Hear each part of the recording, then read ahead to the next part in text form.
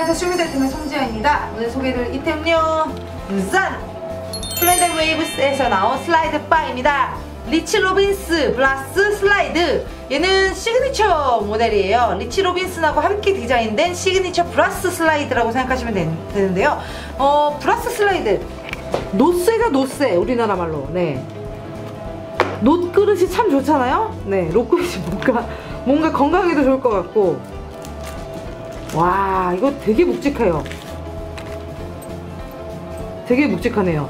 여러분들 그거 생각하시면 돼요. 이게 동전 500원짜리를 이 정도로 모아놨다고 생각 500원짜리? 100원? 10원짜리? 10원짜리 이만큼 묶음이라고 생각하시면 될 것 같아요. 좀 그 정도로 좀 무거워요. 음. 근데 슬라이드 바가 무겁고 안정적이면요 좀 플레이하기에 굉장히 뭐 움직임이나 이런 것들도 좀 적어가지고 좀 편하거든요 어, 오! 오! 오, 이거 느낌이 되게 좋은, 좋은데요? 이게 시그니처잖아요. 그래서 내부에요, 지금. 막 이게 보여질까? 보여질까? 내부에 보시면요.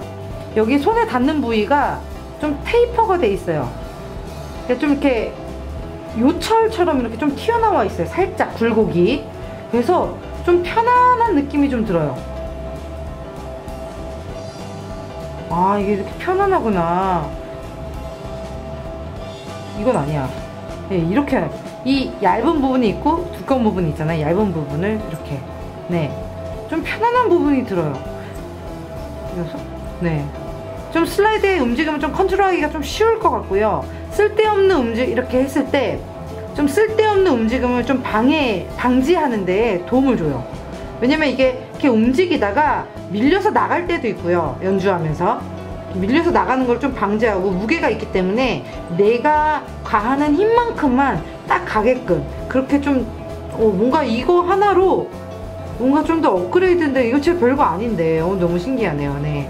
그리고 편안 되게 편하네요 손가락, 손가락이 그래서 추가적인 제어를 위한 내부 테이퍼가 되어 있다는 거 가격은요 어, 27,800원입니다 네. 굉장히 묵직하고 어, 반영구적으로 쓸 수 있는 브라스 재질.